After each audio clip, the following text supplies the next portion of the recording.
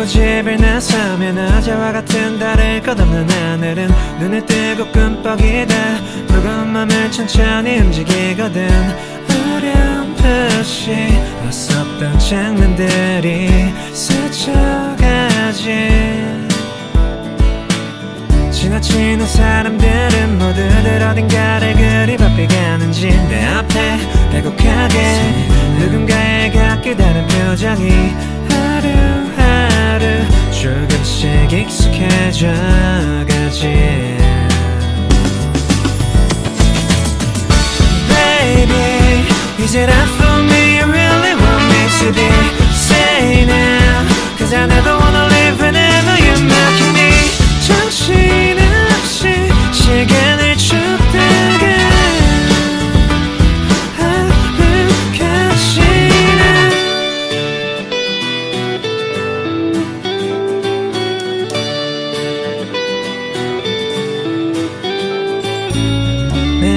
같은 시간에 울리는 전화벨은 눈치 없이 그칠 줄 모르지. 맘에 없는 기대만 하고 있어 자꾸만. 끝없이 이어진 방한